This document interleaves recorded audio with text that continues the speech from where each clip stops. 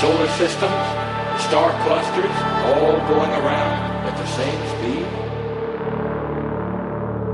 Intently they are. You are the newest life form in the galaxy. The newest life form to have that which is implanted in you, which would be knowledge.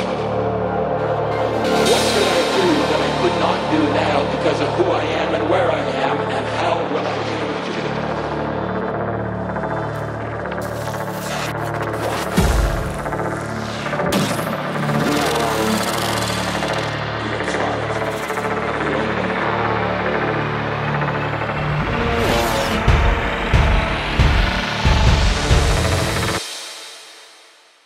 指于我们